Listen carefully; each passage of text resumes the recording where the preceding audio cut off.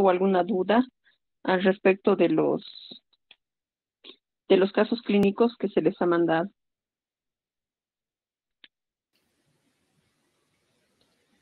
Sí, doctora, eh, nos dijo que nos iba a mandar preguntas adjuntas a los casos clínicos. En nuestro caso no tenía ninguna pregunta. Eh, ya, son las mismas, bueno, tal vez ustedes no lo tienen, pero ahorita les voy a pasar las preguntas para los que no tengan, eh, que prácticamente es lo mismo de casi todos, porque casi la mayoría tienen el mismo contexto. Para las personas que no tienen las preguntas del caso clínico, sus preguntas son, tienen que responder si el, se trata, bueno, primero llegar al diagnóstico sindromático, por otro lado, tienen que llegar a un diagnóstico, defender el diagnóstico, justificar cuál es la causa por la cual se está llegando a ese diagnóstico. Y eh, la otra pregunta era definir la tasa de filtrado glomerular. Solamente esas eran las preguntas, solo eran tres. Si es que me estoy olvidando, ahorita les voy a volver a indicar. Mm, ¿Cuál era el, cuáles eran las preguntas? A ver, ¿dónde están? Acá. Mm,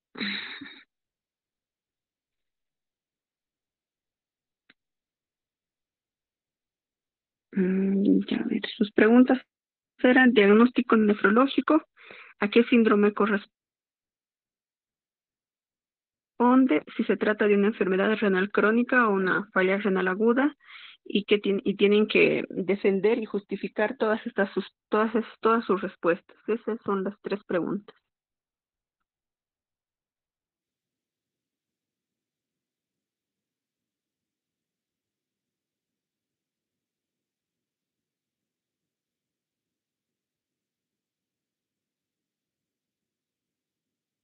¿Me han logrado escuchar?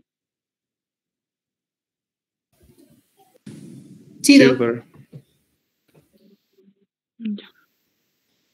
Doctora, no sé si nos puede dar un poquito más de tiempo para terminar las preguntas ya que no las teníamos. Mm, claro, lo van a hacer a la siguiente, hoy día estamos en miércoles, al siguiente miércoles lo van a tener que, que realizar, porque hoy solo vamos a ver lo que es... En, ah, muy bien, doctora. lo que es, ¿qué se llama? es hipertensión en enfermedad renal crónica y nada más. Si me dan un momento, ya está Dígame, dígame. Eh, disculpe, o sea, no es respecto al caso clínico, pero ¿será que nos puede pasar las diapositivas de las clases que, o sea, le, nos faltan? No les Creo que nos falta desde síndrome nefrótico. Ya les voy a Enfermedad renal crónica. Eh, le pedí, le, igual le nombré cuáles Los casos. pero no nos ha, no me ha enviado todavía. No, le he enviado. Hoy día, bueno, entonces hasta que esté cargando este la presentación, a ver, les voy a empezar a. Ay.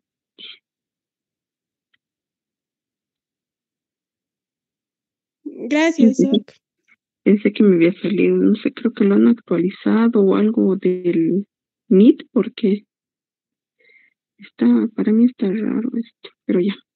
Ahí les voy a mandar lo que es enfermedad renal crónica, me dicen. A ver, espérenme, documentos.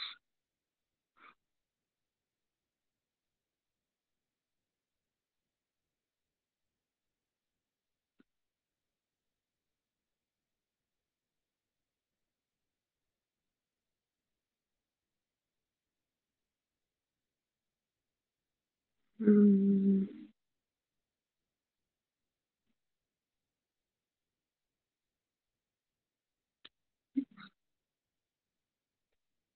Creo que no lo tengo acá. voy a pasar a cuando me pueda conectar y los, se los voy a pasar. Ya está cargando, ya nos vamos a... ¿Alguna otra pregunta que tengan respecto a los casos clínicos?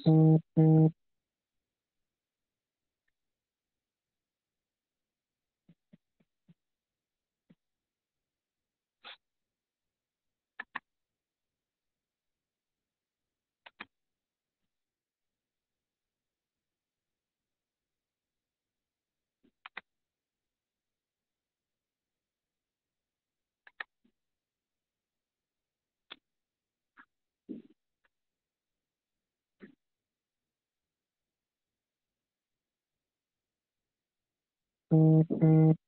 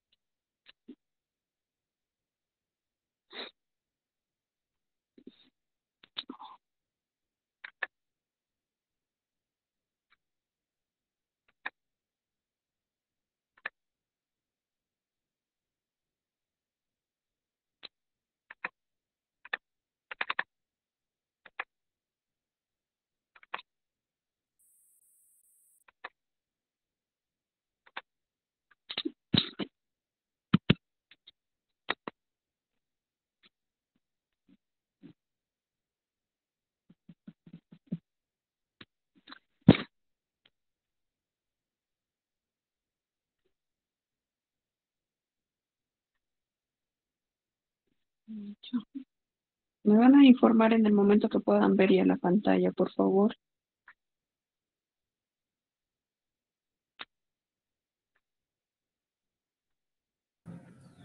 No se ve todavía, Doc.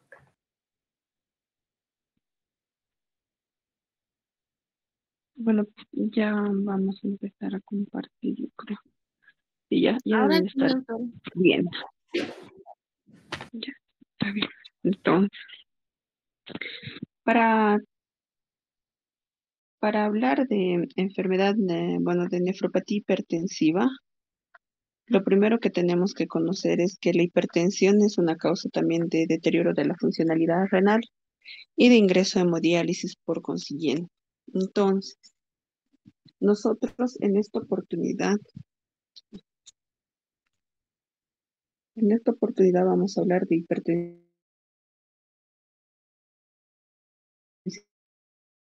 renovascular, que es la nefropatía hipertensiva como tal que todos lo conocemos.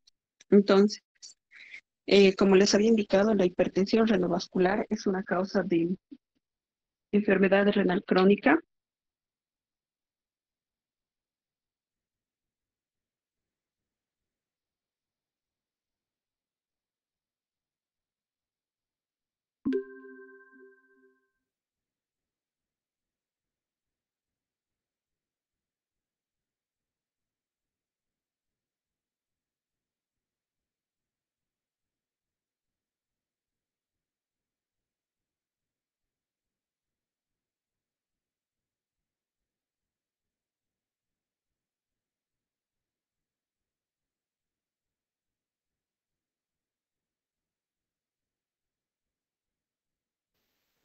Ahora no se le escucha, por si acaso.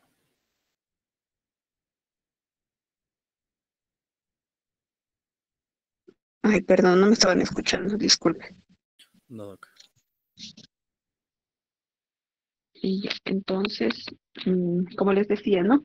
Que la enfermedad, de eh, enfermedad renal crónica, una de las causas que tiene como etiología para desarrollarse es la hipertensión arterial sistémica. Sin embargo, como un, grupo de enfermedad renovascular es denominada la hipertensión secundaria que va a producir una enfermedad renal. La hipertensión renovascular va a tener una prevalencia diferente en diferentes eh, estadios y en diferentes causas y en diferente tipo de población. En, las personas que son de raza blanca tienen una mayor, eh, un mayor porcentaje de un 10 a un 45% que van a llegar a tener hipertensión arterial sistémica severa, maligna o refractaria al tratamiento, teniendo en cuenta que la... ah, ¿Me están escuchando? Sí, ahora que la hipertensión eh, refractaria va a ser el tratamiento con dosis plena de los antihipertensivos asociados a un diurético. Y la, en la raza negra es infrecuente, sin embargo, cuando llegan a tener enfermedad solamente hipertensión, son también de, difícil manejo. La hipertensión renovascular va a ser eh, frecuente en lo que es, eh, bueno, la frecuencia y la prevalencia de esto va a tener que los hipertensos no seleccionados van a ser de menos de un gramo, menos de un por ciento.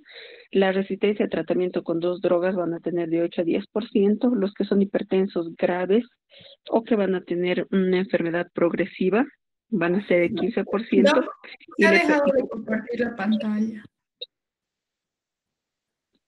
Un rato.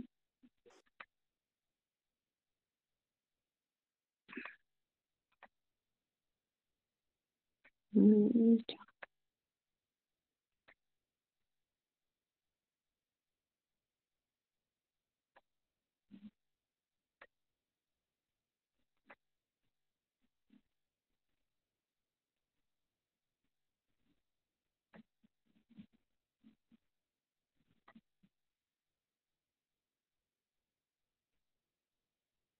Ya otra vez está cargando, esperen un momento.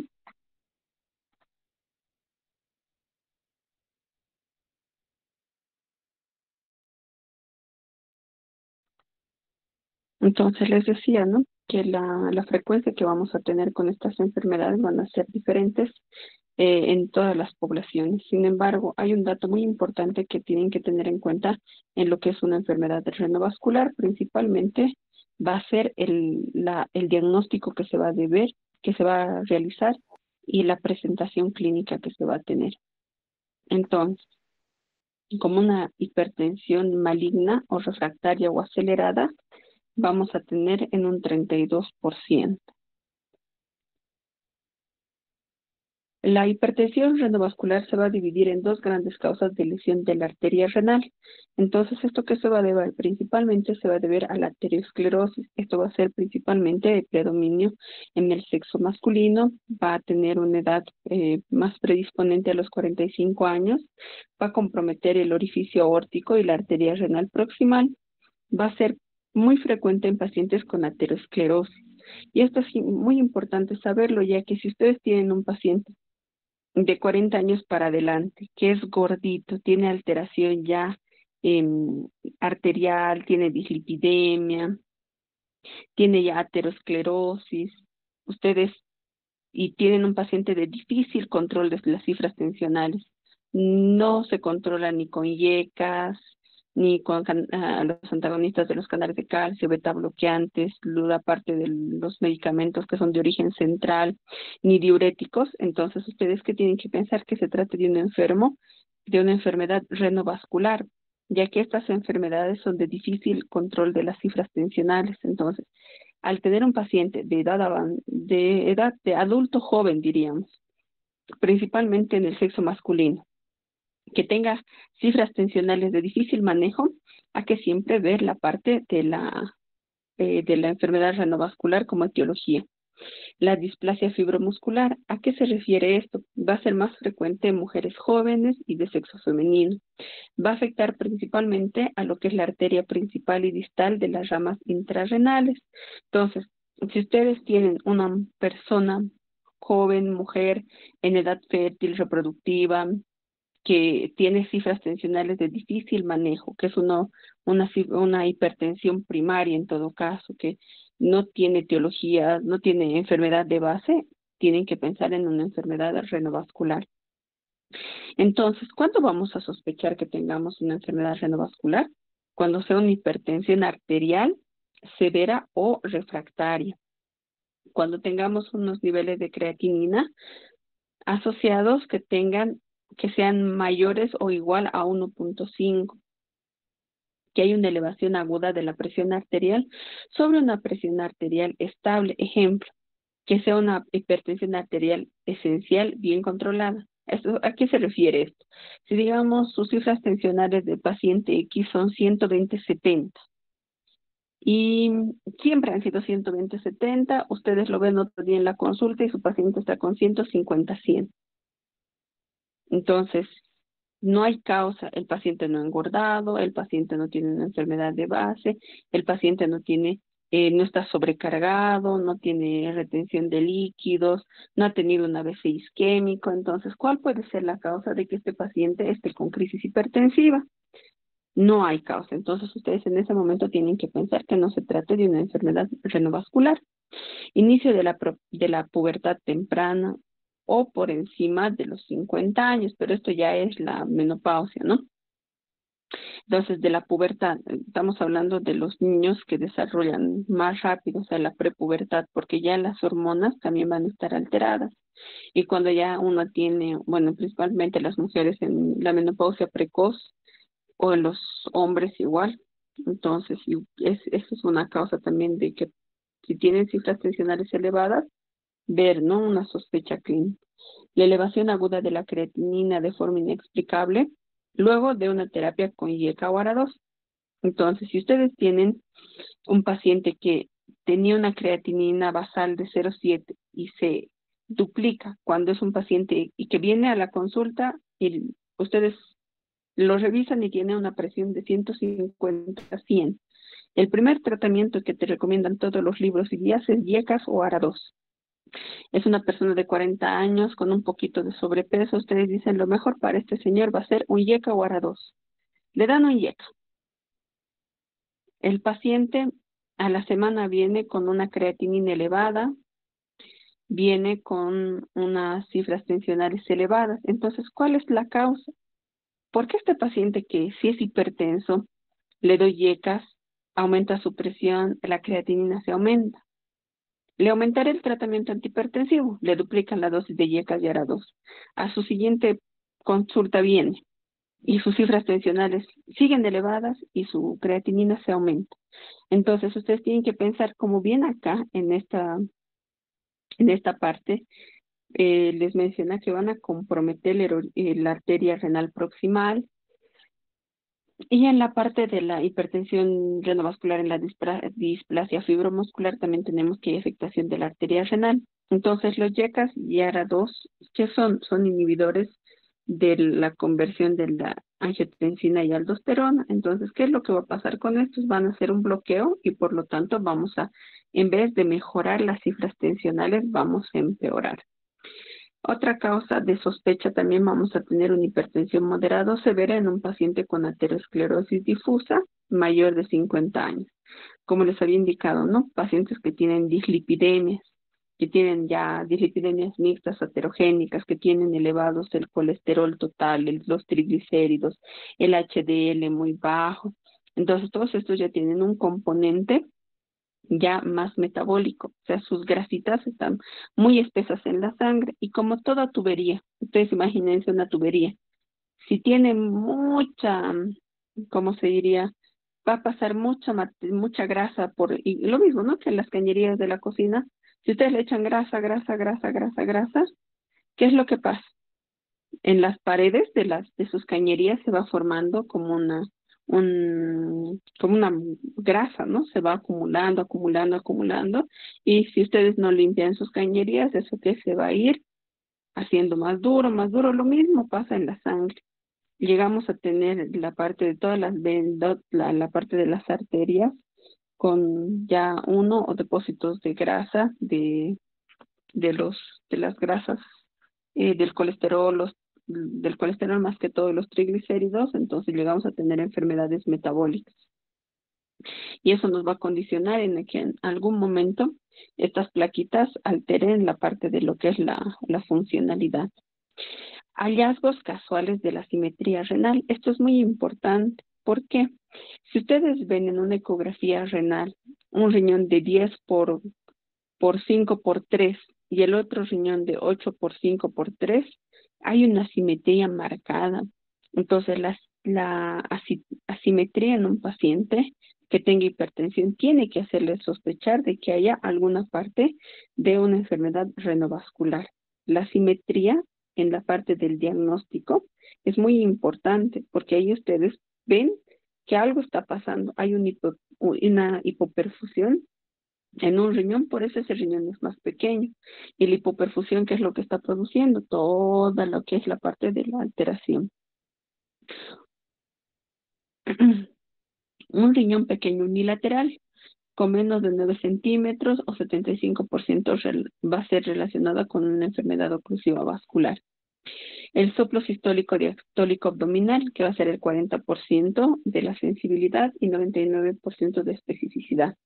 Esto es más, más audible en personas delgadas, obviamente en personas que son gorditas que tenemos abundante masa de grasita en la panza, difícilmente van a escuchar, ¿no? El soplo sistólico diastólico más frecuente va a ser en las personas que sean delgadas. La historia familiar negativa de hipertensión, si yo no tengo ningún familiar que tenga presión alta y yo debuto con presión elevada, entonces, ¿qué es lo que va a pasar? Entonces, yo en ese momento estoy, estoy siendo una persona que está hipertensa y por lo tanto yo voy a llegar a tener algún tipo de, eh, no tendría que llegar a tener ningún tipo de cifras tensionales elevadas, entonces para eso ya es extraño y por lo tanto deberíamos considerar que no se trate de una enfermedad renovascular. Hipertensión moderada severa con episodios recurrentes de edema agudo de pulmón. Cuando las personas hacen edema agudo de pulmón, ¿qué es lo más frecuente que estas personas van a empezar a hacer? Pero cuando tienen enfermedad renovascular, lo más eh, más factible es que hagan edema agudo de pulmón. Entonces, todas estas personas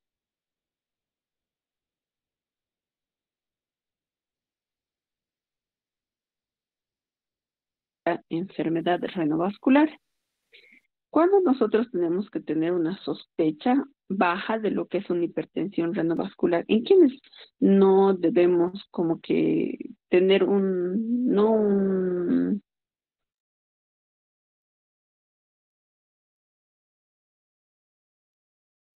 Eh, doctora, ¿se muteó o no los escuchamos?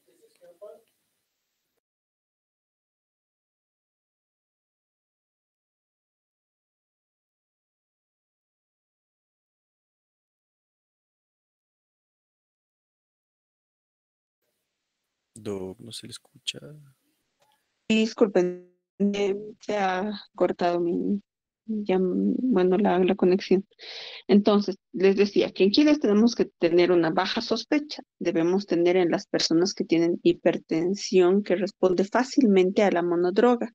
Si nosotros usamos algún tipo de tratamiento, viene un paciente con 200, 100 a la consulta, nosotros le damos un tratamiento con YECARA 2 o en los pacientes de raza negra, que nuestra primera opción tiene que ser los antagonistas de canales de calcio como el amlodipino, entonces nosotros le damos ese tratamiento y mejora, entonces es difícil que sea una enfermedad de renovascular.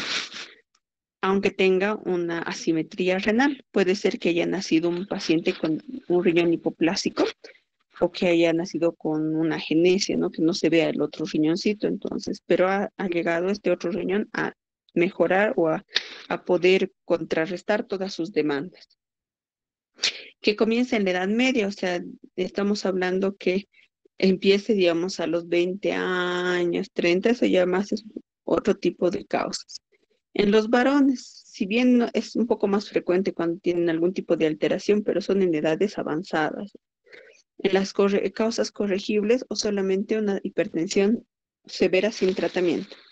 Si bien una persona con 100, eh, 200, 100 de presión, que les dice ¿Usted qué tomaba de tratamiento? Le decía, yo tomaba losartán, tomaba amlodipina y tomaba metildopa. Y no he tomado yo ahora, por eso estoy hipertensa, entonces no es una enfermedad renovascular, es una persona que ha abandonado el tratamiento y por consiguiente ha aumentado las cifras tensionales. ¿Cuándo vamos a tener una sospecha moderada? Cuando va a haber una normalización de la hipertensión arterial con el tratamiento de IECAS y ARA2 que posiblemente esta no pueda ser una hipertensión renovascular porque los YECAS usualmente empeoran la enfermedad. Que la hipertensión no responda a tratamiento convencional con múltiples drogas. Si no está respondiendo a un tratamiento asociado, asociado, asociado o de dosis eh, plenas, entonces tenemos una sospecha de que puede tratarse de una enfermedad renovascular. Y también cuando tengamos una insuficiencia cardíaca inexplicable, más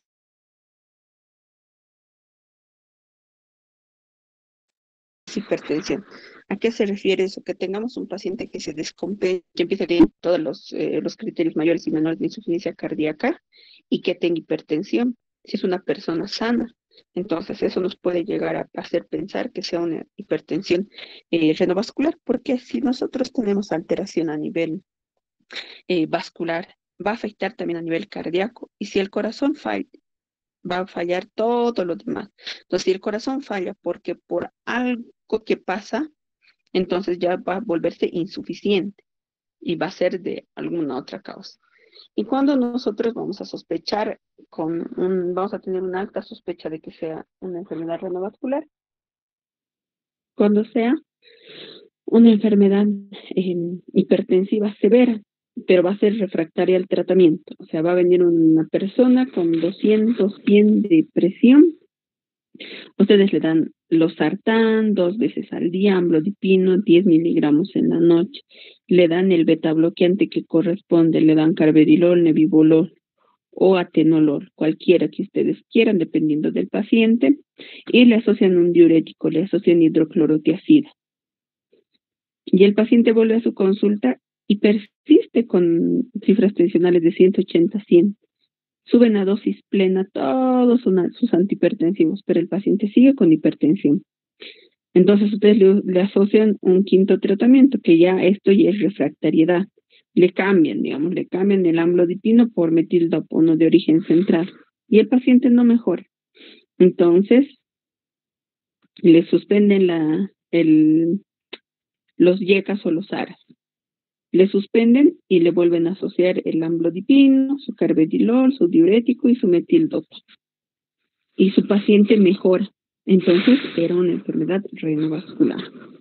Cuando hay una hipertensión maligna, estamos hablando de cifras tensionales que no disminuyen igual con el tratamiento, una hipertensión moderada severa refractaria con asimetría renal. Ustedes vienen, hacen función renal, la creatinina con tendencia a elevarse con 1.6, 1.5, no de manejo urgente por nefrología, le mandan a hacer su ecografía, le piden pruebas de función renal y da, le sale que su riñoncito mide eh, un riñoncito 8 por 5 y el otro 12 por 6. Entonces ya tienen asimetría. Esto ya se trata de una enfermedad renovascular. También tienen que tener en cuenta que cuando hay lesiones estenóticas, esto principalmente va a ser cuando va a haber una estenosis de las arterias mayor del 75%, que puede ser tanto unilateral o bilateral de las arterias renales.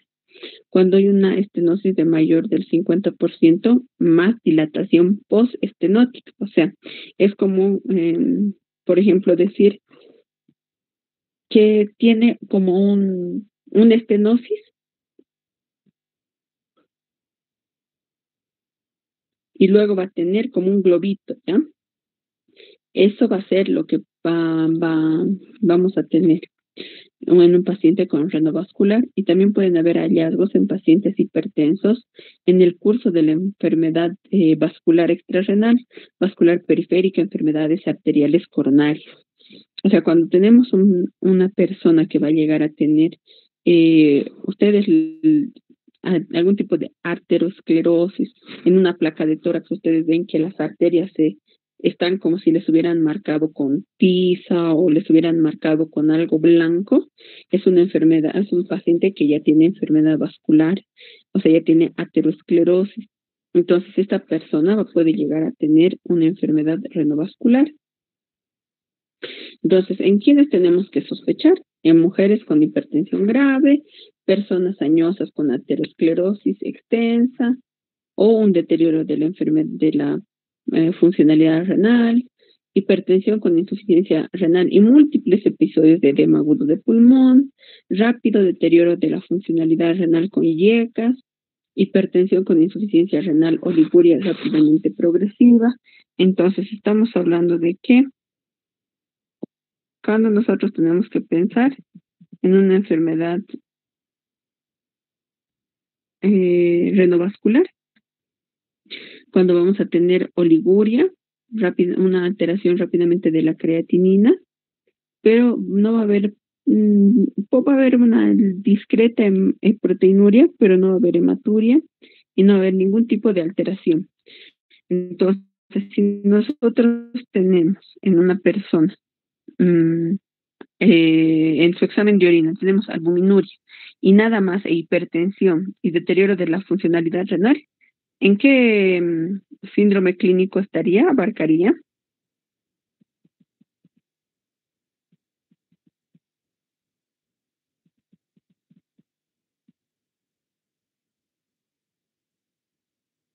Hola, ¿están ahí? Sí, Doc, se le entrecortado.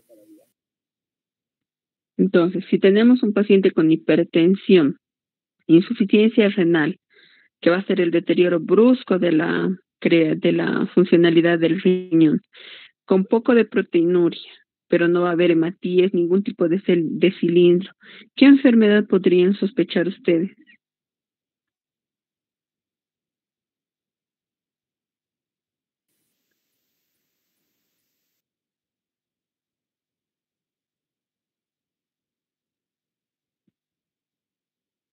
En este caso, si tuviera hematuria, sería un síndrome nefrítico, ¿no es cierto? Porque tenemos hipertensión, hematuria y alteración de la funcionalidad renal.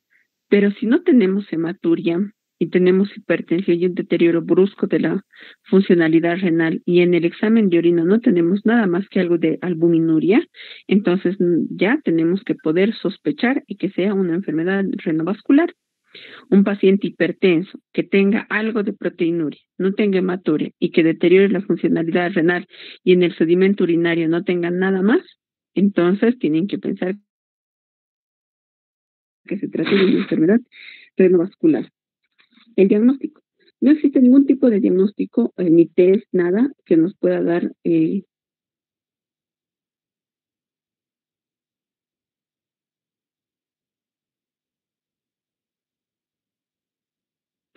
que nos pueda especificar que no se trate de un tipo de alteración o estenosis renal. Entonces, los índices clínicos de sospecha y la presencia de ausencia de la insuficiencia renal son los principales que van a determinar y evaluar el grado de alteración que vamos a tener. ¿Cuál es el, el gol estándar o lo que se hace para el, el tratamiento de, bueno, para el diagnóstico, perdón, de la enfermedad renovascular va a ser la angiografía por resonancia magnética. Ese va a ser un screening de lo que va a ser la aterosclerosis y van a tener una sensibilidad del 100% y una especificidad del 96%. En este caso tenemos las únicas contraindicaciones, los marcapasos, pacientes que tengan claustrofobia, que tengan clips metálicos por algún tipo de aneurisma y aneurisma, perdón, o en los ancianos, ¿no? También vamos a tener el otro otro método de diagnóstico que va a ser la angiografía por TC eh, helicoidal o espiralada, que va a ser un test no invasivo igual, que va a ser un screening de elección en algunos países, por ejemplo en el nuestro, porque no la resonancia de por sí es muy cara, entonces es de poca accesibilidad. Tiene una menor sensibilidad y especificidad, pero eh, lo malo es que se utiliza mucha sustancia de contraste, entonces tenemos un paciente con ya enfermedad renal, eh, que ya ha deteriorado la funcionalidad y tenemos que usar contrastes, como que ya ahí se ve, ¿no? El, la parte de los pros y los contras. La angiografía por, por sustracción digital de la arteria renal selectiva, que era muy costoso, pero ya en este propósito ya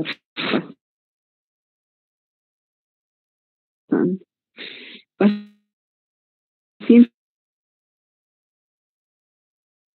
que tienen asimetría renal, se les hace un neurograma excretor con sensibilidad de 76, 70 a 80%, porque en estos pacientes que vamos a ver, vamos a ver principalmente que va a tener un, vamos a tener un, una disminución de la excreción en el riñoncito afectado, entonces ahí ya vamos a ver algún tipo de alteración la actividad plasmática de la renina. Entonces, ¿qué vamos a hacer? Le vamos a dar este, a estos pacientes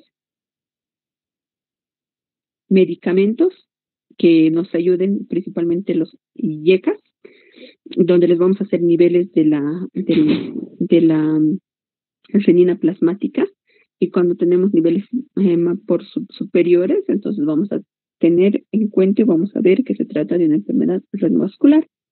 El renograma también vamos a, nos va a dar un falso negativo del 20 a 25%, de poca eficacia. En este caso podemos usar igual, darle a la persona el, algún tipo de yecas, bueno, más que todo el captopril está, está um, como plasmado en toda la literatura. ¿Y qué es lo que nos va a dar? Nos va a dar eh, un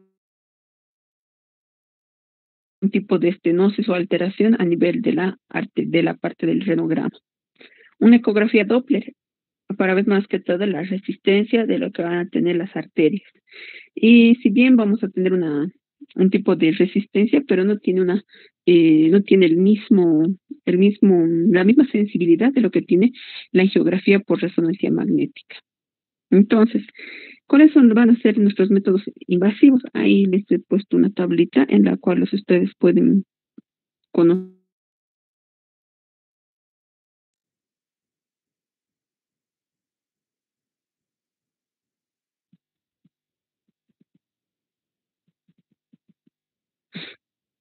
Entonces nosotros vemos que nuestra resonancia magnética siempre va a ser la mejor, a diferencia de los demás, ¿no es cierto? Entonces, ¿cuál va a ser nuestra recomendación? Cuando tenemos un alta sospecha, nosotros qué vamos a tener? La función renal está normal o de alto riesgo. ¿Qué pedimos? Cuando tenemos función renal normal, pero tenemos alto riesgo, entonces pedimos un angiograma, angiografía arterial por sustracción digital.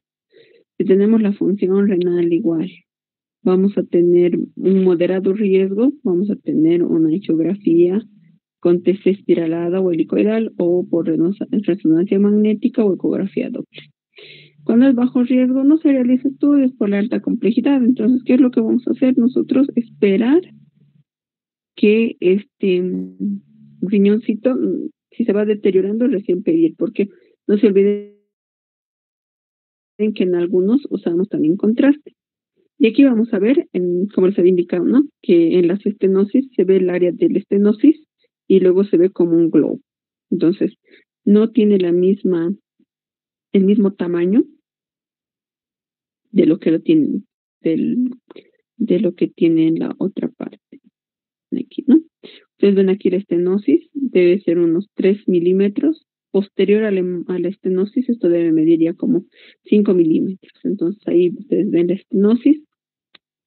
En la parte de, la, de esta gráfica vamos a ver que las alteraciones fibromusculares, igual acá, de las penitas, de las arterias, que van a tener ya su, su alteración. En esto vamos a ver una estenosis bilateral. Acá ustedes ven la estenosis bilateral y esto igual ya no, no se ve comprometido, ¿no? El riñoncito, pero sí ya va a tener una denotación. Aquí se está haciendo la angiografía, donde solo se ve un riñoncito, y aquí no hay. ¿No? Ustedes ven, aquí se ha hecho un pielograma intravenoso eh, unilateral, una estenosis unilateral, entonces acá no se pinta nada. Pero aquí se ve todo, aquí ya se ve, ¿no? ¿Cuál va a ser el tratamiento? El tratamiento va a ser médico principalmente para ver eh, la parte del tratamiento de la hipertensión, una angioplastía percutánea con o sin stent y en otro caso va a ser la cirugía. ¿Cuáles van a ser los objetivos? Controlar la hipertensión, cuidar el riñón y tratar la enfermedad vascular. El tratamiento va a haber una mejoría, pero siempre va a haber algún tipo de alteración si no se trata en una paciente que hay estenosis. Em, los cambios de la función renal en pacientes con creatinina mayor de punto de mayor de 2 miligramos, vamos a tener eh, principalmente en los pacientes que van a tener eh, mayor compromiso de una de, de, la arteria renal. Entonces hay muchos estudios en los cuales se ha realizado donde han visto que estos pacientes eh, no van a mejorar, pero sí se pueden estabilizar. Eh, esto es más el tratamiento de la angioplastía y las recomendaciones. En otro punto, nosotros, que es, bueno, más, más que nosotros, ustedes lo que tienen, lo que esto es una parte de la enfermedad renovascular. Ahora, lo que ustedes también tienen que conocer en este punto es que mmm, un ratito se va a apagar la computadora.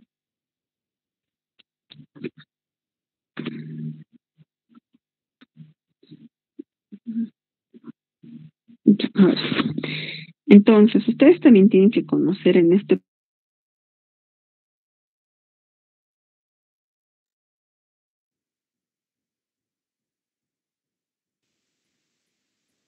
se va a considerar un factor de riesgo cardiovascular que al tener un, un mayor riesgo cardiovascular, también tenemos que tener en cuenta que la progresión de la enfermedad renal crónica tiene un impacto sobre la vida y la calidad de vida de las personas y que la incidencia en pacientes con diabetes, la hipertensión arterial o el envejecimiento es una causa principal de lo que es la enfermedad renal crónica.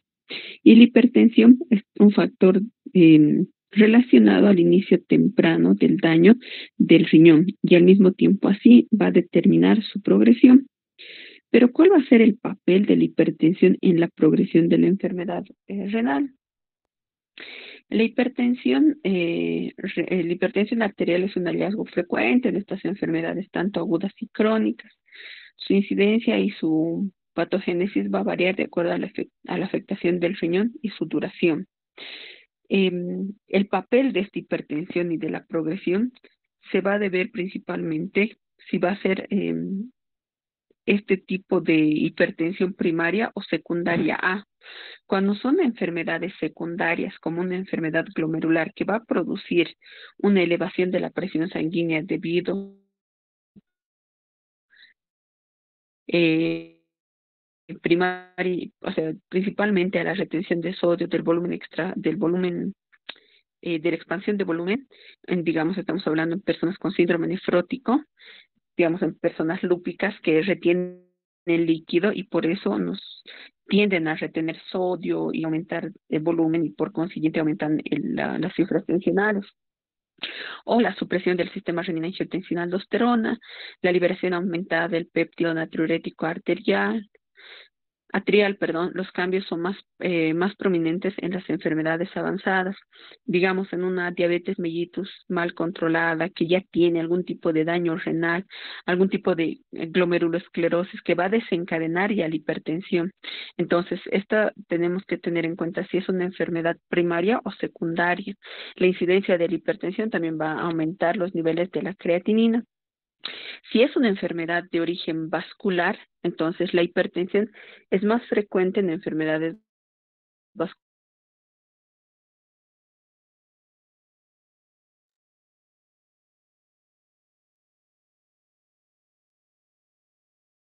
vasculares, como por ejemplo la vasculitis o esclerodermia, con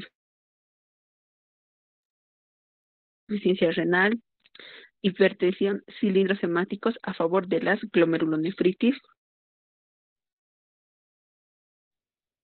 eh, pausimunes, como la vasculitis. Entonces, como ya les había mencionado hace rato, si tenemos un, un, paciente que viene con creatinina alterada, eh, hipertensión y hematuria, tenemos que pensar en una enfermedad principalmente que sea una glomerulopatía secundaria, que es un síndrome nefrótico.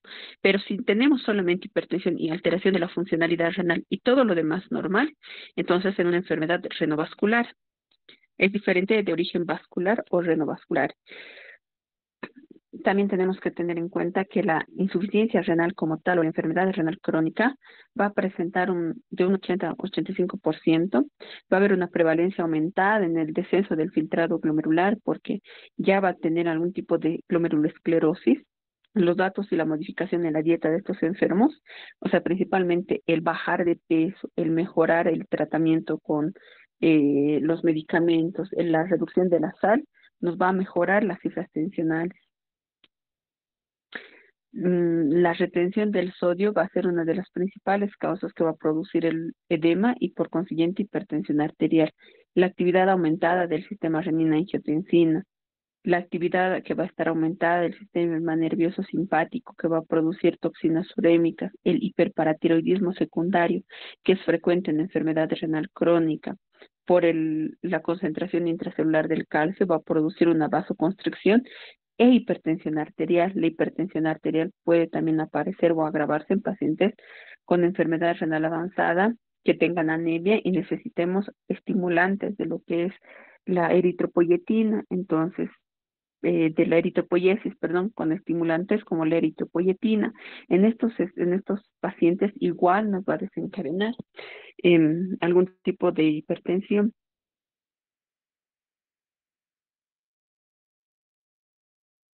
Han, han, habido múltiples estudios que han realizado y han mostrado que la hipertensión arterial es un factor de riesgo modificable en la enfermedad renal crónica.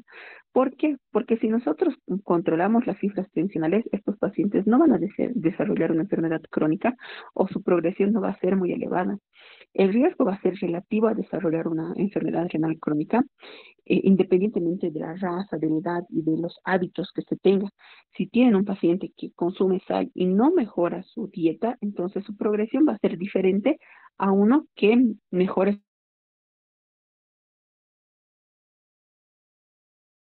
su calidad de vida. Ya en diferentes estudios se ha visto cuáles pueden ser los valores eh, de cifras tensionales de acuerdo a la, a la, a la enfermedad o a la, a la característica de cada paciente. Entonces, en pacientes que van a tener una enfermedad arterial, eh, perdón, enfermedad renal crónica, que va a tener un aumento de las cifras tensionales, podemos tener una hipertensión arterial aislada. En estos pacientes se ha establecido que eh, principalmente las cifras tensionales en los pacientes con enfermedad renal crónica eh, en un rango tienen que mantenerse de 131 a 79, 80, digamos. Entonces, ese va a ser el, el parámetro de, estos, de este tipo de pacientes. Ahora, el tratamiento va a variar dependiendo de lo que ya sé, del, del, tipo de paciente. Hay un tipo de estudio que es el PREVENT, que, donde han indicado que la presencia de hipertensión es un riesgo asociado a la mayor progresión de la enfermedad renal crónica. Entonces, ¿en esto a qué se refería? Te decían que si tú tienes un paciente que tiene algún tipo de enfermedad renal crónica o secundaria que está produciendo una enfermedad renal y tiene cifras tensionales elevadas y tú no mejoras estas cifras tensionales, entonces, ¿qué va a pasar con tu paciente? Tu paciente va a llegar a tener más rápido la enfermedad renal crónica. Entonces, para todo esto se ha realizado un tratamiento, se ha, se ha realizado los objetivos de control de las cifras tensionales en pacientes con enfermedad renal crónica. Y en estos eh, se han visto principalmente que las guías te recomiendan que la presión arterial esté menos de 130-80 en cualquier en los pacientes que estén relacionados con algún tipo de albuminuria. Entonces, dicen, en los pacientes diabéticos o que tengan algún tipo de albuminuria o proteinuria, las cifras tensionales, nuestro objetivo va a ser por debajo de 130-80. Y en caso que tenga una proteinuria mayor a, un gramo, te dicen que hay que, hay que tratar de bajar un poquito más. Pero también te mencionan que si tenemos eh, que los pacientes con enfermedad renal crónica de origen no diabético, se pueden controlar las cifras tensionales por debajo de 130 y se va a asociar a un menor riesgo a la progresión. Entonces, ¿eso qué, a, qué, nos lleva mm, a pensar? Que los pacientes que tengan diabetes con algún tipo de albuminuria o proteinuria, nuestro, nuestra cifra tensional tiene que ser menos de 130-80. Pero si es un paciente que no es diabético y que tiene, que tiene proteinuria, pónganse un paciente que sea con algún tipo de glomerulopatía, te dice que tienes que bajar un poquito más. Eso ha sido en el estudio que, que les había mencionado, ¿no? En el estudio, en el PREVEN, pero en el otro, en la otra parte de los del MDRD que se ha realizado, te dicen que son un poquito más, eh, ¿cómo se diría? Un poquito más eh, tolerantes porque te indican que puedes mantener las cifras tensionales más de 140, 90. Entonces, en este, en este contexto, cada cada guía internacional ha planteado un sistema de tratamiento en los cuales han mencionado cuáles pueden ser las mejores, eh, los mejores esquemas de tratamiento para todos estos pacientes. Entonces, tengo una tabla que ahorita les voy a mostrar, donde es la comparación de los pacientes del tratamiento que se tiene en las diferentes guías. Espérenme un ratito.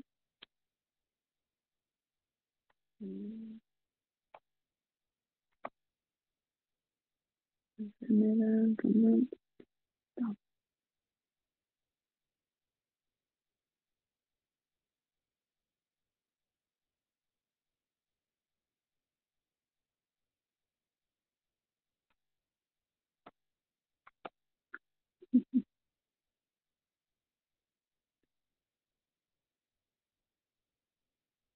¿Alguna pregunta que tengan en nuestra casa que les muestre las tablas?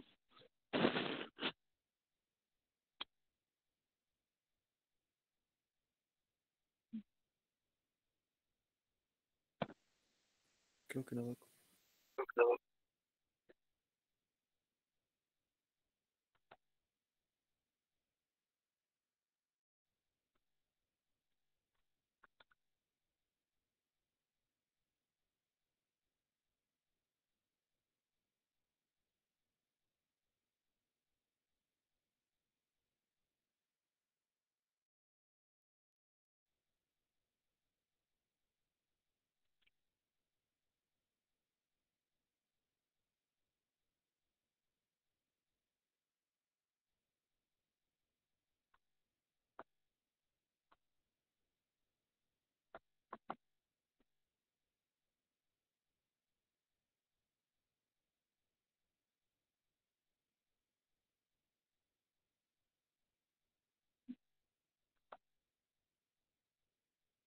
Así, mm, ahorita les voy a mostrar todas las guías y las tablas que se, tienen.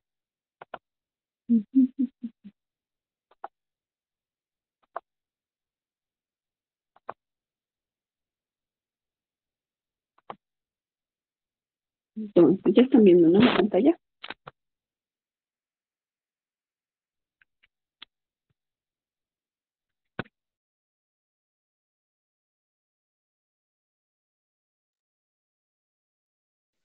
Doctora. actualizado. Entonces, ahí que te decían, hipertensión arterial sistémica, enfermedad crónica, ¿cuál va a ser tu objetivo? De 140, 90, la diastólica, ¿no ves? Entonces, eso te decía. Si es una enfermedad crónica, controlable y multifactorial, ¿cuál tiene que ser tu objetivo de lo que es una de las cifras tensionales? Te dicen tiene que ser de 140 a 90. ¿Cuáles van a ser los, los límites que te dicen las guías de la Sociedad Americana de Hipertensión? Ahorita voy a poner mi puntero. Entonces te dice, mayores de 60 años, de la, la, la guía americana, esta es la guía europea, la JNC 8 y las NICE, que son una de las principales guías. Entonces, te dice, si son mayores de 60, sean permisibles. ¿Por qué? Porque los pacientes mayores o ancianos siempre van a tener tendencia a hipotensión. Entonces, si yo un paciente de más de 60 años, uno de 80, diabético, le quiero tratar de controlar 120-80, este paciente por el simple hecho de que no come, ya va a estar desnutrido, la alimentación es baja, cualquier momento voy a llevar a 90, 60 hipoperfusión y el paciente puede tener más complicaciones que beneficios. Aparte de eso, no se ha visto que haya un, una mejora o una algo que sea, ¿cómo se dice esta palabra? Algo que sea beneficioso en estos pacientes, bajar más las cifras tensionales.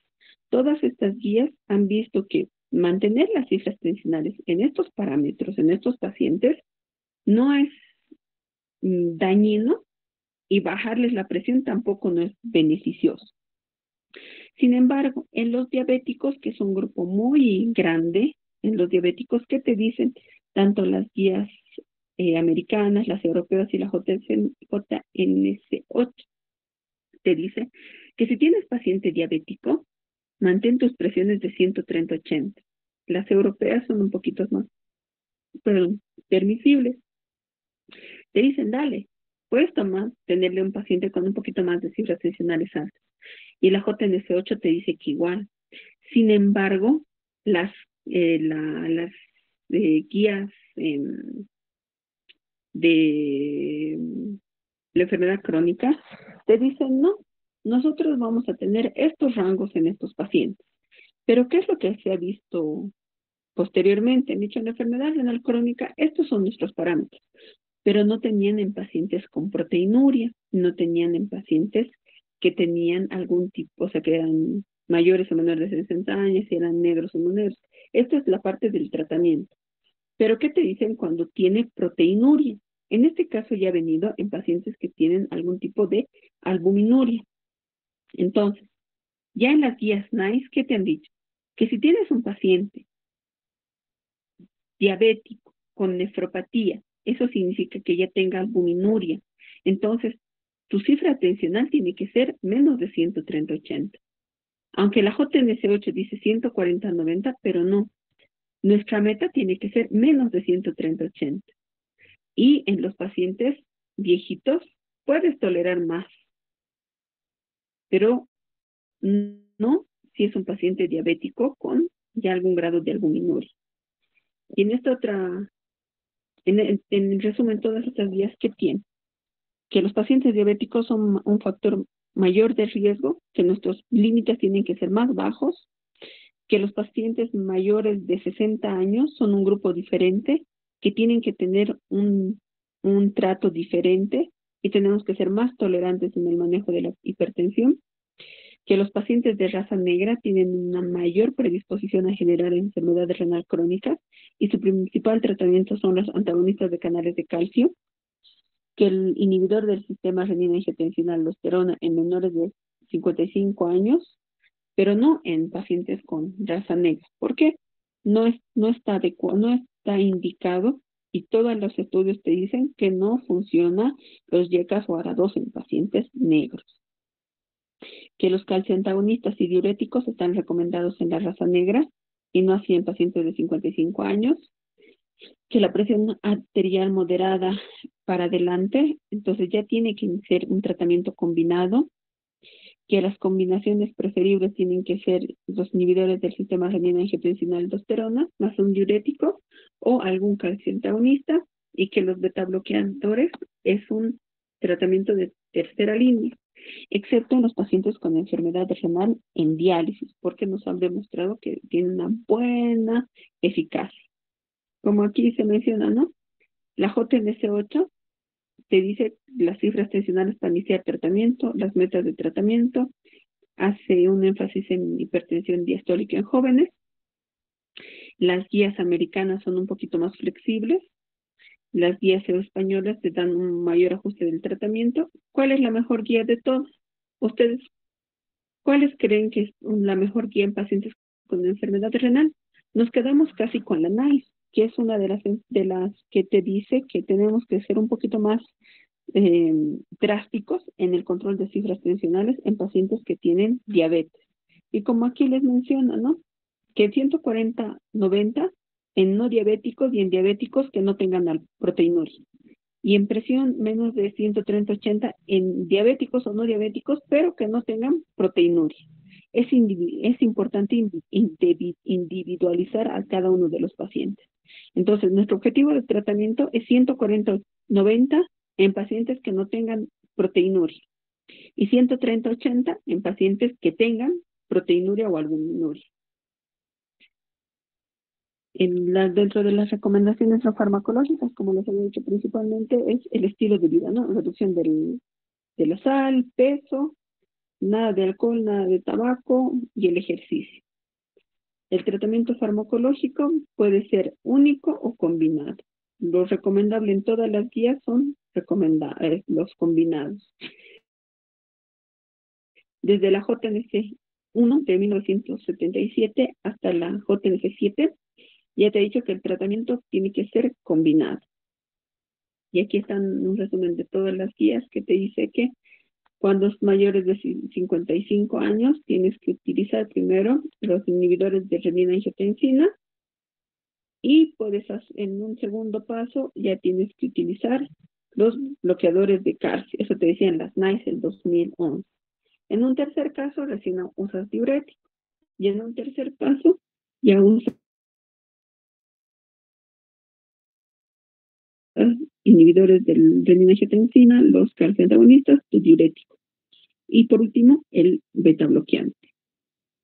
Las guías españolas y las guías europeas te dicen que, igual puedes usar la parte de lo que es principalmente los YECAS y diuréticos, diuréticos bloqueadores de angiotensina, puedes usar bloqueadores de angiotensina, em, antagonistas de, canales de calcio y diuréticos, pero no tienes que usar YECAS y los ARA2. No puedes usar esta, esta combinación, YECAS y ARA2 conjuntos. Puedes usar todas estas combinaciones. YECAS, diuréticos, diuréticos antagonistas, antagonistas diuréticos, YECAS, antagonistas, diacídicos, todos ellos. Pero no puedes usar lo que son los YECAS y ARA2. Y en este mismo, en esta tabla igual se menciona que el, principalmente el control de las cifras tensionales en las diferentes guías y este, las guías CADIGO te dicen igual que los pacientes con diabetes e hipertensión, hiper, perdón, hiperteinuria, nuestro tratamiento, nuestro objetivo de tratamiento es 130-80. ¿Alguna pregunta que tengan?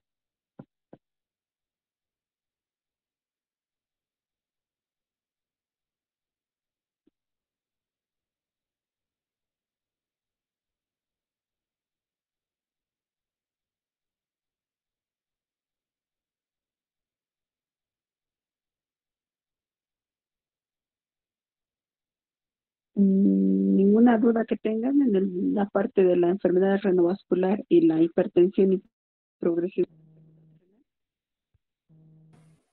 No, no. Eh, yo doctora, tengo una pregunta. Eh, quería saber cómo podemos diferenciar cuando eh, la hipertensión es la causa de la falla renal o cuando, digamos, una insuficiencia renal por otra causa lleve secundariamente a una hipertensión.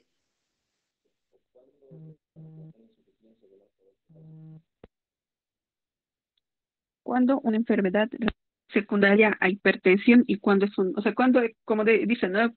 ¿Qué es primero, el huevo o la gallina? Entonces, ah, eh, sí, o sea, sabemos que cuando hay insuficiencia renal también ah, La única forma de saber que la hay hipertensión, la única forma es en ese caso una biopsia renal, porque en la biopsia si ves la glomerulosclerosis, entonces tú dices, y ninguna otra causa más adyacente, o sea, no tienes nada más en la biopsia renal, entonces tu causa de enfermedad renal ha sido la hipertensión como tal. Pero si no tienes, eh, si no puedes, si digamos llega una enfermedad, un paciente con hipertensión, con una enfermedad ya con una creatinina, con criterios de diálisis, entonces para nosotros es difícil llegar a la conclusión de decir o ha sido la hipertensión que le ha llevado a enfermedad renal crónica o por la enfermedad renal crónica ya tiene hipertensión. Entonces, como para nosotros es igual, ¿quién fue primero, el huevo o la gallina? Cuando tenemos una hipertensión con una función renal no deteriorada, sí podemos llegar, porque podemos hacer una biopsia renal, pero después no tenemos, porque podemos tener asimetría Podemos tener la sospecha que ha sido una enfermedad renovascular, pero no tenemos la certeza, o sea, no tenemos eh, la forma de llegar a un diagnóstico seguro. Podemos tener la sospecha, de decir, ha sido la hipertensión, porque es una señora de 40 años que solo tiene hipertensión, no tiene lupus, no tiene vasculitis, no es gorda. Entonces, es una persona que puede que haya llegado a tener solamente hipertensión y ha dañado el riñón porque digamos tiene aterosclerosis eh, o ha tenido, no sé, algún tipo de un ABC isquémico, digamos. Entonces tenía hipertensión y ha llevado enfermedad renal. Pero si no tiene hipertensión, no tiene nada, entonces tal vez tiene una enfermedad renal de base. No se olviden que si digamos tenía una enfermedad renal de base, una enfermedad glomerular que ha llevado una hipertensión y por consiguiente una enfermedad renal crónica, y llegan ya o en una etapa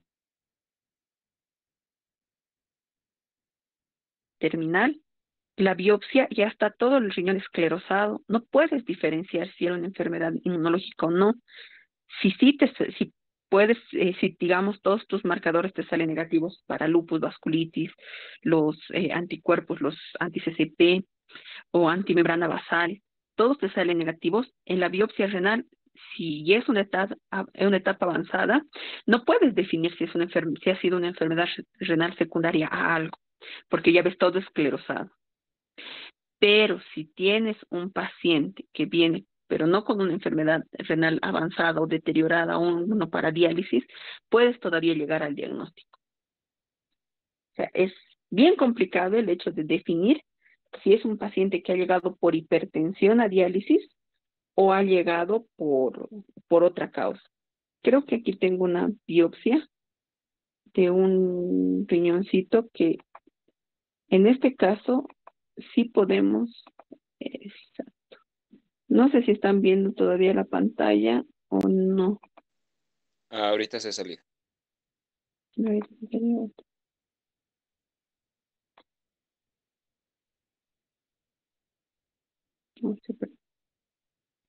Cuando nosotros llegamos, cuando nosotros tenemos, ahorita les voy a mostrar.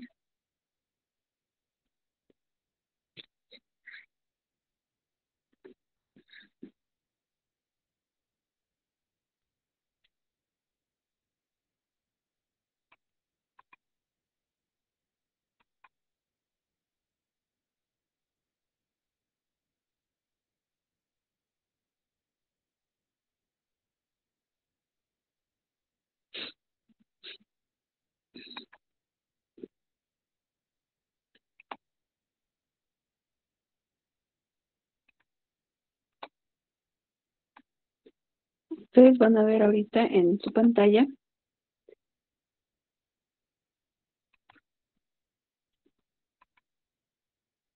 ustedes ahorita van a ver que en la parte que estoy señalando con la manito, ¿ven la manito? Creo que no ven la manito. Sí, sí. En esta parte, cuando nosotros biopsiamos a un paciente que todavía tiene funcionalidad renal, o sea, que no está para diálisis, no es un paciente, eh, que es un paciente recuperable, nosotros podemos tener este tipo de glomérulos. Este que es un glomérulo sano, con un poquito de maturia, mm, ya con tendencias a hacer una fibrosis o esclerosis acá. Este sí es un, un glomérulo bonito, con un poquito de espesamiento de la membrana basal, pero más no. Ustedes aquí ven, tenemos uno, dos, tres, cuatro glomérulos. Bueno, no, solo son tres glomérulos, un glomérulo, dos y tres.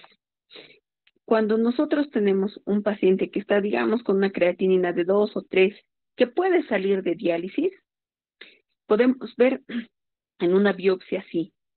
Pero cuando ya tenemos un paciente hipertenso, con deterioro de la enfermedad renal, digamos, sin ninguna otra etiología que en ese momento tengamos, vemos un riñón así. En este riñón tú no puedes definir nada, porque aquí ya tienes hialinosis, tienes esclerosis, o sea, todo el riñón está destruido, ya se va a volver una pasita, o sea, todo esto se va a volver fibrosis, así como este, esta imagen de acá, todo el riñón se va a volver fibrosado entonces hialinizado y no vamos a poder distinguir nada. En cambio, en esta biopsia sí vemos que uno, primero tenemos que ver la parte de, las, em, de los túbulos y de las arterias. En este caso se está viendo la arteria y nos están mostrando que hay un depósito en las arterias. En este caso, en este riñoncito, no, no hay nada. Dicen que no hay, en este riñoncito no hay ningún tipo de alteración. Aquí sí hay adenosis, hay fibrosis, pero no se sabe cuál es la causa. Pero nosotros en este, en este tipo de biopsias lo que, lo que hacemos es identificar si hay algún tipo de enfermedad de base. Si en, este tipo, si en esta biopsia hubiera habido un poquito más de lo que es la, la mm, eh, mayor mm, había proliferación mesangial o algo, eh, estaríamos hablando de una enfermedad inmunológica. Pero acá no hay. Ustedes aquí ven estos azulitos, son las células del mesangio. En cada partecita solo tienen que haber tres. Cuando hay más de tres se habla de proliferación mesangial. Digamos acá hay uno, dos, uno, dos, tres. Ok, uno, dos, tres, digamos cuatro aquí. Aquí ya, digamos, habría algún tipo de tendencia de proliferación. Aquí hay cuatro. Entonces, mm, si digamos tuviéramos como en este en esta partecita, pero acá estaríamos hablando de una proliferación mesangial. Ya eso nos hablaría de un tipo de enfermedad proliferativa. Pero acá estamos viendo ya linosis, acá no se ve muy bien, este riñón tampoco no te da muchas, eh, no, te, no te da muchas alteraciones, entonces lo único que vemos es en la parte de los vasos, de las arterias. Y vemos que es una nefrangiosclerosis, acá dice que es benigno por hipertensión. ¿Por qué? Lo único que está dañado son los túbulos, los túbulos, perdón, la parte de la, de la arteria. Y en el riñoncito solo vemos algún tipo de fibrosis, pero nada más. Entonces, cuando llegamos a una enfermedad temprana, por así decirlo, nosotros podemos diferenciar, porque aquí tenemos un glomérulo para decir que no era ningún, nada inmunológico. Hay otras tinciones, ¿no? Pero aquí te dice nada solo un riñoncito fibrosado y un glomérulo fibrosado y nada más.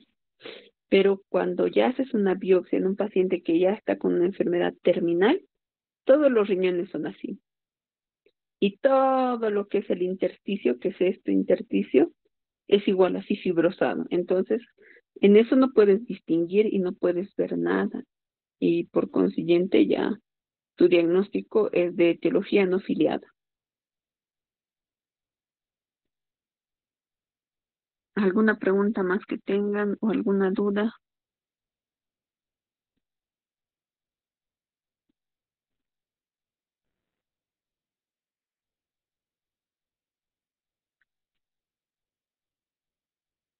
Entonces, doctora, la única forma de determinar esto sería por la biopsia renal. Claro, por la biopsia renal, cuando tienes un estadio eh, eh no, no final, un estadio, eh, no un estadio avanzado. La biopsia renal. Como la diabetes, ¿no? Como dicho, que la diabetes, en la enfermedad renal diabética, nuestro gol estándar, digamos, sería el fondo de ojo. Si tú tienes un fondo de ojo que no tiene alteración, no tiene proliferación, entonces y tienes un paciente que tiene proteinuria y es diabético, la proteinuria puede que no sea de la diabetes. Tendrías que buscar la causa de la proteinuria. No le puedes echar la culpa de la diabetes a la proteinuria si es diabético y no tiene alteración ocular. Puede que sea otra la causa. Ahora, algunas veces también la hipertensión puede dañar la vista. Pero si tienes un fondo de ojo que te dice que es una em, retinopatía hipertensiva, no siempre puede ser la causa de la, de la enfermedad renal crónica. Tu gol estándar en este caso es la biopsia renal. Y de la diabetes, el, casi como el gol estándar es, la, eh, es el fondo de ojo. Ay, ya listo. Gracias, doctora. ¿Alguna otra pregunta o duda que tengan?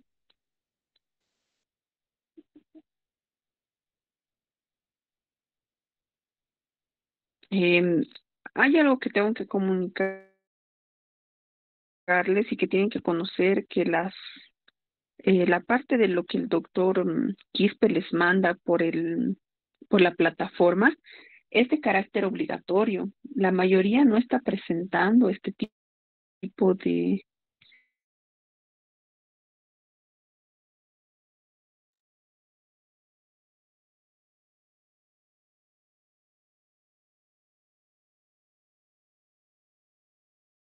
de actividades. Entonces, al final, para su nota, el comentario en el foro, como les he indicado el doctor, porque he visto que son muy pocas las personas que están participando y esta va a ser, eh, y si no sé si han visto, lo, ha, lo se los ha comentado también, dentro de la calificación el doctor está viendo la, la actividad en el foro y no están participando, entonces el cuidado que al final estén teniendo notas bajas por los exámenes que están dando por virtuales y algunos queden reprobados, ¿no? Porque ahora ya todo está grabado.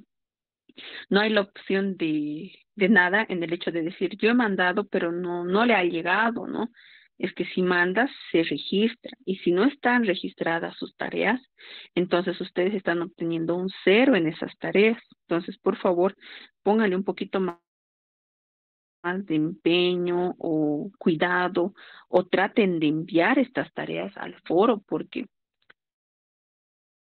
he visto que tiene muy poca participación en todo lo que el doctor está mandando y en la en la parte de la calificación, pues solo, como se dice, no es como el cacho, lo que se ve se anota.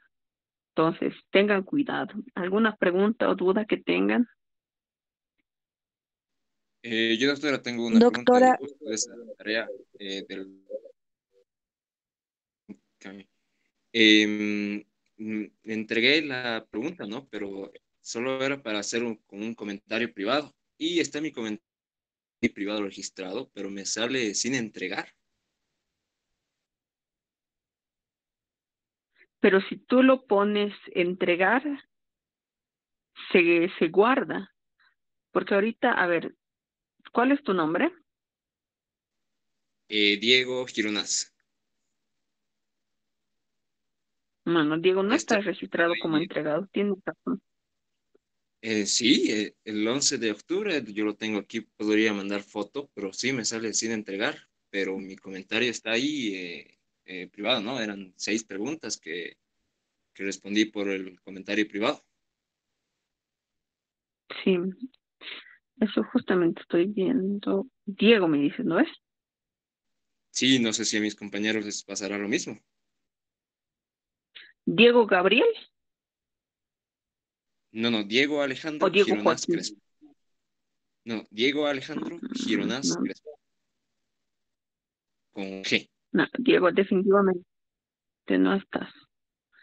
Porque la mayoría es que ese es el problema y el doctor la ayer que ha habido la reunión que no hemos podido pasar la clase me ha indicado que si me están mandando a mí yo le he dicho yo no tengo ningún comentario de nadie porque les, o sea tanto al doctor como a mí nos llegan nuestros correos todo lo que ustedes hacen pero yo el correo institucional lo tengo no lo tengo como una primera un primer se llama mm,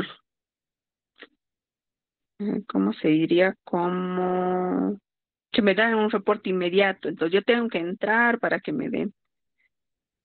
Entonces sí Diego es verdad has mandado.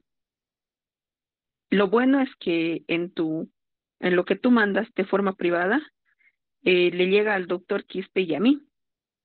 No, no, en, esta, en este caso solo me habías mandado a mí. No le había llegado al doctor Quispe. Pero a mí me ha llegado, digamos, tu, tu respuesta el 11 de octubre, ¿verdad? El 11 de octubre, exactamente te voy a decir a qué hora. A las 12 y 55 habías mandado. Sí. El 11 de octubre es ahora. Entonces, sí. Exactamente, a mí me ha llegado eso y bueno, no le ha llegado al doctor Quispe. Vean que la parte de que al enviar, no sé por qué no le está llegando a él, pero a mí sí me ha llegado. Entonces yo todo lo que tengo, al final yo le voy a pasar al doctor de las personas que a mí me llegan, porque como es institucional solo tengo de ustedes, de nadie más. Entonces le voy a mandar porque, como les digo, hay varios que incluso han mandado recién su examen. y es medio chistoso, ¿no? O sea, que el examen era hace creo dos semanas y recién han mandado. Entonces, el 9 de octubre han mandado un, un examen. Dígame. Disculpe, eh, ¿de qué depende que te respondan en el foro? Mm, ¿Te responda quién? El doctor, porque vi que en algunos compañeros le respondió, pero en otros no. Eh, supongo que debe ser dependiendo a quién le mandan. Porque es que cuando suben al foro, lo suben en público. Entonces el doctor tiene la opción de responder y que todos vean. Pero cuando lo mandas privado, digamos, me llega a mí el, el, el, la respuesta o al doctor. Y el doctor cuando responde, le responde igual en privado, porque ustedes lo hacen privado.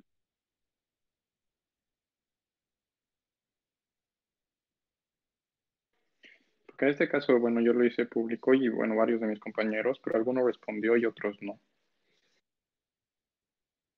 Ah, no, entonces eso también es ya por falta de tiempo tal vez del doctor, pero lo importante es que ustedes suban sus tareas, porque como les digo, miren, el 9 de octubre hay una persona que recién ha mandado su examen.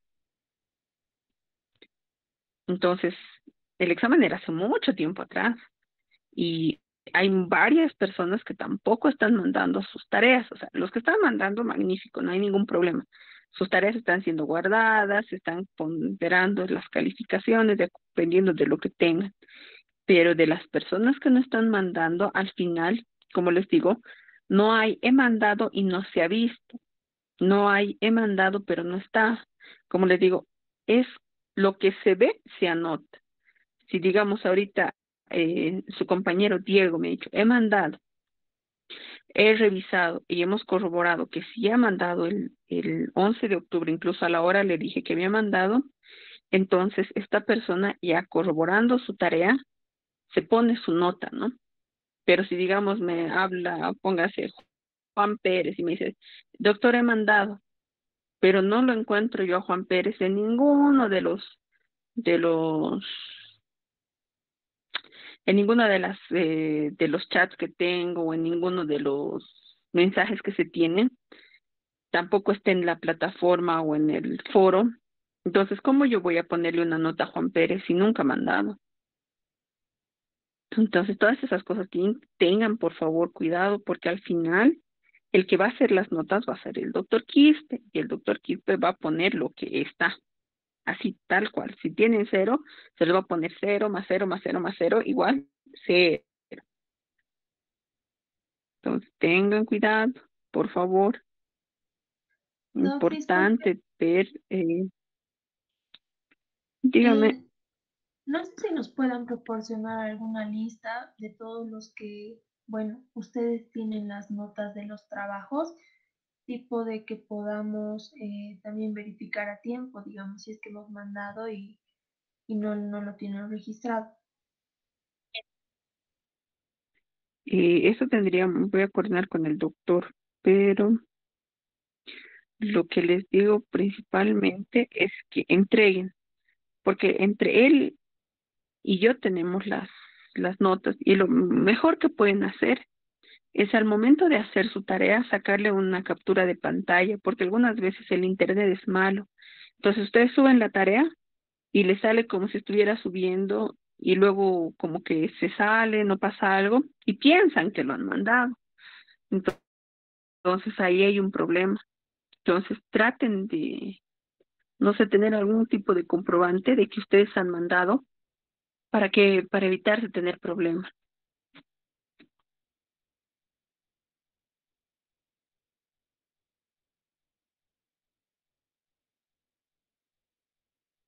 ¿Alguna otra pregunta o duda que tengan?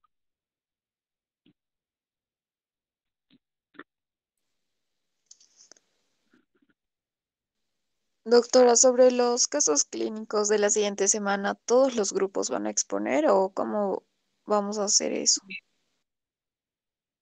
Sí, todos los grupos van a exponer.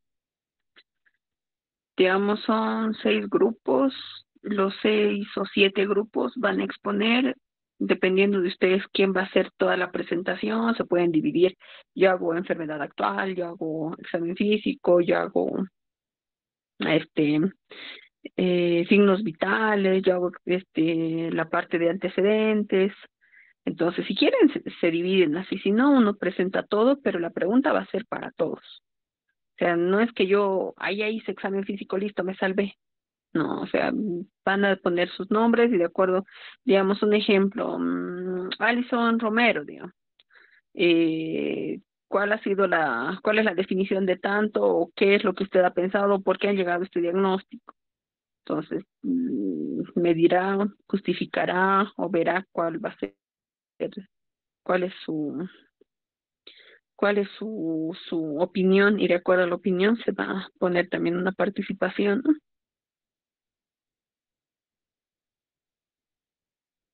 Pero todos van a exponer. Ah, ya está bien, gracias, doctora. Para una pregunta. Eh, en cuanto al primer parcial que vimos. No tiene. eh, sí, sí, doc, una pregunta. Dime, en, cuanto dime. al, ajá, en cuanto al primer parcial que vimos, o sea, eh, una vez que lo mandamos y todo, no salía la puntuación. No sé si eso está bien o solo fue mi caso, porque cuando lo mandé no me aparecía la puntuación. En algunos sí, pero la puntuación es subjetiva. No piensen que la puntuación que les va a salir es la misma, porque habían opciones también que eh, no era, o sea, creo que a algunos sí les ha salido puntuación y otros no, pero es subjetivo porque luego te llega todas las respuestas y de acuerdo a eso igual tú calificas, porque tú pones una puntuación al, al, al, al trabajo, ¿no? Pero puede variar, porque como es todo, o sea, es un sistema, si tú no pones coma o pones acento, no pones acento, algunas veces incluso el error ortográfico te anula la respuesta. O si, digamos, has marcado una opción y por error has cambiado o has marcado dos y demás, igual te arruina la respuesta. Entonces, eso es subjetivo, de eso no, no se preocupen, pero de que ya, en, yo creo que hasta la siguiente semana, antes del segundo parcial, que es al fin de mes, creo, ya van a tener las notas del primer parcial y, y ahí ya van a tener opción a dudas o reclamos. En su siguiente clase también díganle al doctor cuándo va a tener las notas del segundo parcial.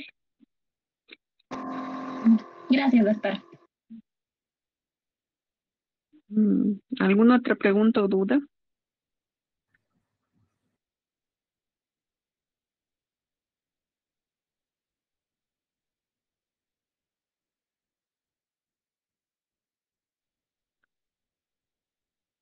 Bueno, si no tienen ninguna otra duda, que tengan buen resto de tarde. Nos vemos el miércoles para continuar con la parte de los casos clínicos. Gracias, Doc. Gracias, doctora. Hasta luego. Gracias.